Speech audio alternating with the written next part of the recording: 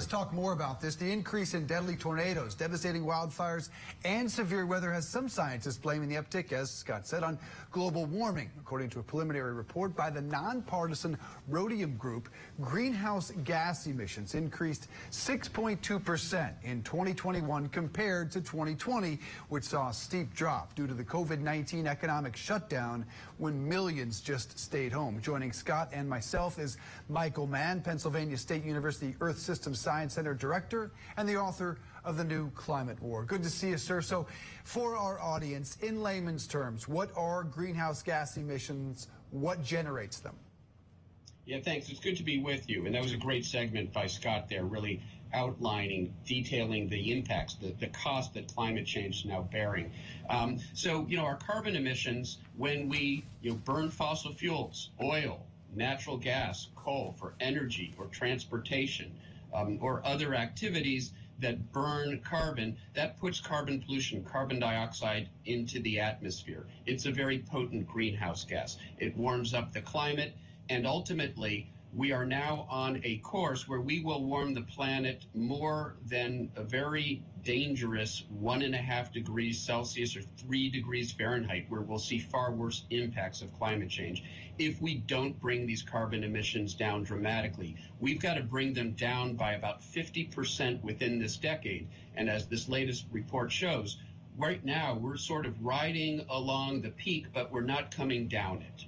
Yeah, I want to, you said carbon, which is, we do need to bring that down. But the other one that's out there that people really are just starting to talk about is methane. Because methane, it doesn't last as long in the atmosphere, but it is more damaging in the short run than carbon dioxide, right?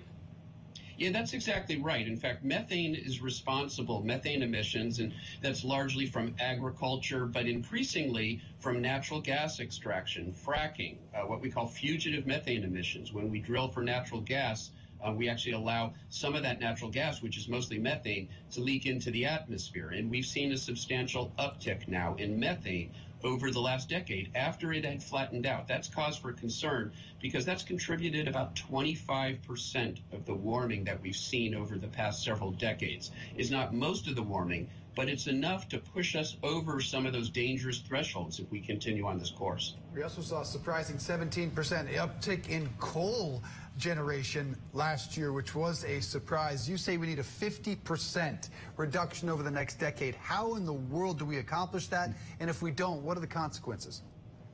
Yeah, so the, you know the consequences again. Scott outlined that uh, very clearly in that previous segment. We're seeing the damaging impacts of extreme weather events already. It's costing us almost a trillion dollars, um, almost a trillion dollar cost to the economy from those accumulated extreme weather disasters of the past five years. So there's the urgency. There's why we have to act. Now, there's a little bit of good news here, though. Those recent numbers in carbon emissions sound bad. Much of that is just the rebound as the economy starts up again as there's more transportation, air travel, and driving as we come out of the pandemic. So if you sort of average out those last two years where we saw a big drop from the pandemic and then we saw it come back this year, we're basically flat. We're, we're riding along the flat part of the curve. So we're not making those emissions worse, but we've got to bring those emissions down to zero and we've got to do so quickly. So there's a lot of work ahead of us um, there are some climate, uh, very important climate provisions in this Build Back Better bill that's still being debated in Congress. We need those climate provisions to pass Congress so that we can do our part here in the United States to bring down our carbon emissions send an you know, set an example, send a message to the rest of the world that we need to get serious about this. Well, and that's what you were, I was just going to say. The recent UN climate change conference, there were lots of discussions and lots of pledges. But if the smaller developing countries and even some of the larger countries like China aren't going to be serious about making changes, is it really going to make a difference if the U.S. does? Yeah, that's right. I mean, we're seeing uh, tremendous growth on the part of China, India, and other developing countries.